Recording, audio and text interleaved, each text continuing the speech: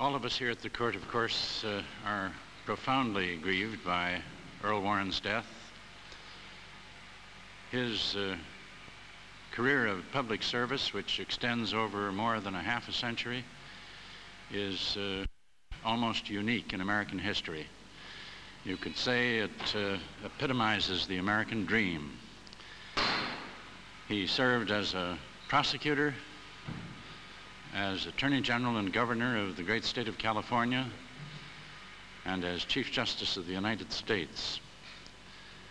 This uh, whole period spans one of the most dynamic periods in American history, of course, and his tenure as Chief Justice of the United States uh, spanned one of the uh, most significant and dynamic periods uh, in the history of the court in modern times. Mr. Chief Justice Warren served his country and the court long and well. He did so with devotion and with love and with dignity.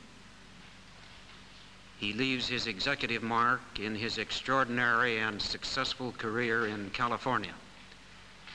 And he leaves his judicial mark in the great rulings promulgated during the period of his chief justiceship his state and the nation, and I think above all, the Supreme Court have lost a stalwart friend and a most significant leader. Earl Warren was a truly great Chief Justice. He was also one of the finest human beings I have ever known.